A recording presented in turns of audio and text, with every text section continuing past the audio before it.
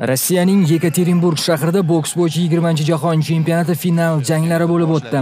Bilasiz, ushbu musobaqalarning finaliga 4 nafar o'zbekistonlik bokschi yo'llanmani qo'lga kiritgandi. Ular orasida 52 kilogrammgacha vazn toifasida harakat qilgan Olimpiya o'yinlari chempioni Shahobiddin Zoirov hal qiluvchi bahsda hindistonlik Amitga qarshi jang o'tkazdi. 3 raund murosasiz va qiziqarli bahs ko'rdik. Mana shu 3 raundning barchasida Shahobiddin Zoirov raqibidan ko'ra ustunroq harakat qildi va ketma-ket tezkor va aniq zarbalari bilan ajralib turdi. Bu jangda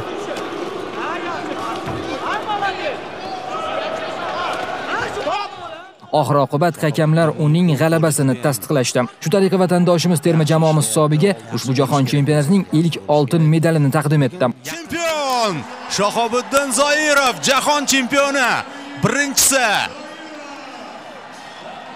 Qoyil, tabriklaymiz. Ketdik. 52 kilogrammgacha vazn toifasida musobaqalarda ishtirok etgan Miraziz Mirzahalilevning finaldagi raqibi kubalik Lazar Alvares edi. Ushbu sportchi anchayin tajribali hisoblanib, xalqaro maydonda bir qator muvaffaqiyatlarga erishib ulgurgandi. Yosh vatandoshimiz esa butun jangni ishonchli tarzda olib bordi. Javob berdi vaqtida Mirza Halilov zarbaga yaqin masofaga kirishdi. Yaqin yaxshiroq bizga uzoq. Ikkinchi raund mobaynida kubalik sportchi jarohat oldi va shifokorlar keyinchalik Alvares jangni davom ettira olmasligini ma'lum qilishdi. Shifokor. Yo'q deyapti shifokor. Shu vaqtgacha bo'lgan ochkolar hisob-kitobi bo'yicha Miraziz Mirzahalilov g'alaba qozondi. Bu terma jamoamiz uchun ikkinchi oltin medal sifatida qayd etildi. Ikkinchi chempion Mirazizbek Mirzahalilov.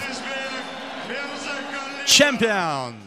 Hamyurtimiz Dilshodbek Ro'zmetov esa 81 kilogramm vazn toifasida qozog'istonlik raqibiga qarshi bahs olib bordi. Bekzat Nurdauletovga qarshi ringga ko'tarilgan yosh vakilimiz afsuski bellashuvda imkoniyatni boy berib qo'ydi va jahon chempionatining kumush medali bilan taqdirlandi. Yana bir bokschimiz Bahodir Jalolov eng og'ir vazn toifasida qozog'istonlik Kamshibek Kankabayev bilan jang qildi. Ikki bokschi ham jangni yaxshi kayfiyatda boshlashdi.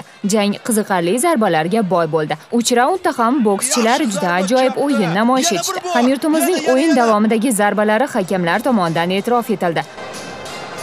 Hamma tomonlama. Shunday qilib, super og'ir vazn toifasiga ega vakilimizning qo'li baland kelib, Bahodir Jalolov faoliyatida ilk bora jahon chempionatining oltin medaliga sazovor bo'ldi.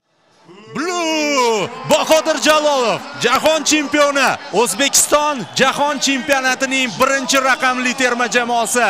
Tabriklaymiz barchani Shu tariqa terma jamoamiz vakillarining musobaqada qo'lga kiritgan medallari 3 ta oltin, bittadan kumush va bronzani tashkil etmoqda. Delegatsiyamiz bunday natija bilan jahon chempionatini umumjamoa hisobida birinchi o'rinda yakunladi. Mezbon Rossiya terma jamoasi esa 3 ta oltin medal bilan ikkinchi pog'onadan joy oldi.